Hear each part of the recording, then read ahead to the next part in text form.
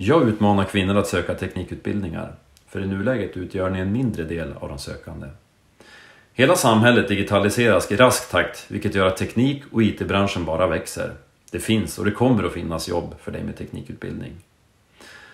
Jag tror på människans förmåga och jag brinner av nyfikenhet över på vilket sätt framtidens teknik kommer att förbättra och förändra vårt samhälle.